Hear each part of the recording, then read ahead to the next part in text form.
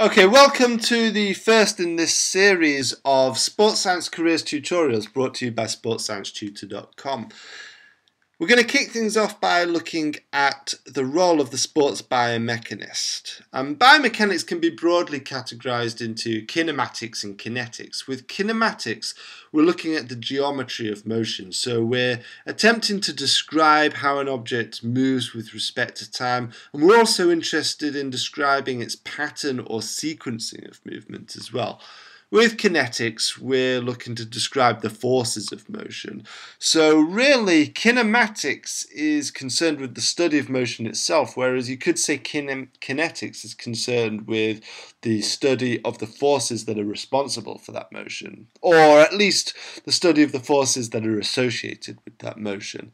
And if that's your kind of thing, that's your area of interest, and you're looking to pursue a career in sports biomechanics, uh, then a useful starting point is developing an understanding of the typical employers in the field of sports biomechanics. And to an extent, this will depend on whether you're interested in a research career or you're interested in becoming an applied sports biomechanist who's going to provide sports science support to athletes and to teams. If we're interested in a research career, um, within sports biomechanics, then our most likely employer is going to be a university, and we're most likely to be employed as a university lecturer. Depending on the institution you're employed by, a certain proportion of your working week will be allocated to pursuing your research interests. Now, if we're actually really interested in becoming an applied sports biomechanist, then there are probably a greater number of typical employers out there, ranging from national governing bodies to the institutes of sport, so the English, Scottish, Welsh Institutes of Sport. A good overseas example might be the Australian Institute of Sport.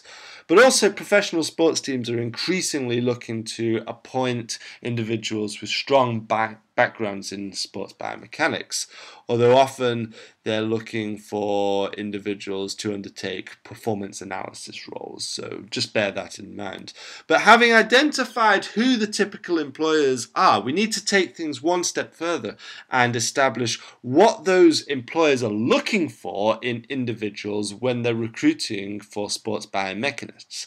We can actually do that quite easily by looking at the job advertisements that are uh, placed by these organizations. And so, if we do this now with a job advertisement that was placed for a lecturer in sports biomechanics by Liverpool Hope University, we can look at the person specification and look at the kind of requirements that might be needed for such a role. So, in terms of educational requirements, seems a PhD is pretty much essential. They've suggested that uh, obtaining a PhD is of high importance, and pretty much every lecturing role is going to require you to have a PhD. In terms of experiential requirements, teaching at undergraduate and postgraduate levels seems to be of high importance here as well. And in terms of skills and knowledge, a proven ability to teach enthusiastically and with innovative methods is desirable or actually of high importance here. And also, uh, research skills are of high importance. We can demonstrate our research skills through evidencing our PhD study, and we can evidence our teaching ability through highlighting our teaching experience at undergraduate and postgraduate level. However, that clearly means that a lecturing position is not an entry level job for a sports science graduate. Even a sports science graduate who's gone on to study perhaps sports biomechanics at PhD level without having teaching experience alongside that is unlikely to secure a lecturing position. And so that's something we need to bear in mind when developing a pathway from graduation towards securing our ideal job. And so, with that in mind, following completion of your undergraduate sports science degree, you might want to consider what type of master's level qualification is suitable for your career aspirations. And it may well be that an MRes degree is actually more suitable than the typical MSc degree. So an MSc degree is a Master of Science degree, an MRes degree is becoming increasingly popular and it's a Master of Research degree and it's specifically designed to prepare students for PhD level study. And if you pursue this kind of master's degree, that might put you in an advantageous position towards securing a PhD studentship further down the line.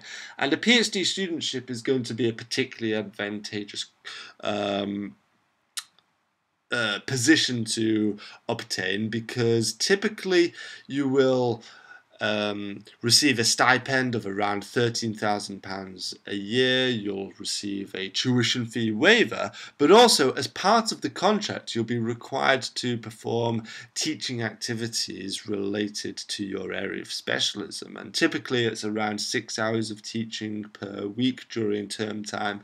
Um, and so, three years of that teaching activity alongside your PhD study is actually going to put you in a very strong position to then obtain a lecturing position within sports biomechanics or within whatever field you are specializing in.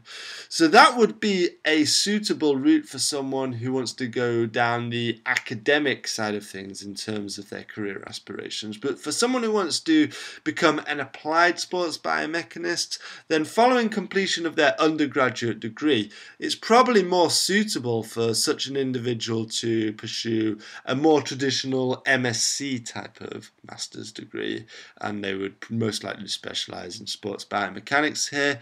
But once again, most sports biomechanics jobs, even along the applied side of things, are not really entry level positions. Most positions require a high level of experience working with national teams or with professional teams, and so we need to probably look at what type of jobs are available as entry level positions. And it may well be that you begin your career as a more general sports science support officer offering sports science support across um, different aspects of specialism. So you might be offering physiology and psychology support alongside biomechanics support.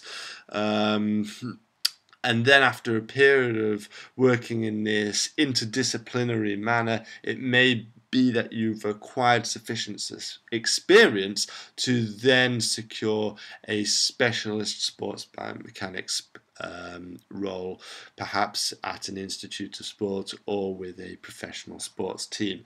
Hopefully, that's been of use to you in terms of outlining suitable pathways towards securing your desired um, career within sports science. If you'd like any more information or you'd like to discuss things in further depth, you might want to check out Mentor at sportsciencetutor.com.